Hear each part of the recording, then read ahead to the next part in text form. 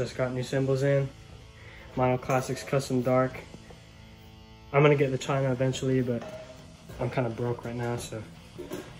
Looks sweet, sounds sweet.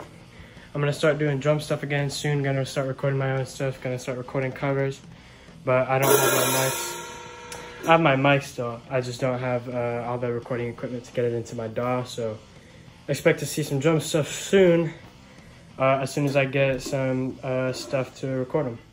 Uh, here's how they sound just from my phone audio. They don't sound good or nothing, but